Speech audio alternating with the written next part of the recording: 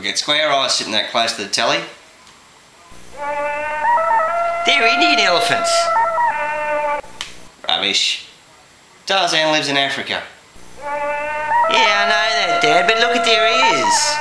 Indian elephants have smaller ears than African elephants, and you can see the lines where they've glued the bigger ears on to fool us into thinking that they're African elephants. Nah. I can't see any lines. They're African elephants. Tarzan lives in Africa.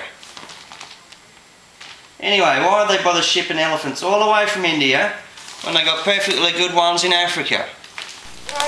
Because Indian elephants are easier to control, Dad. Easier to make the movie.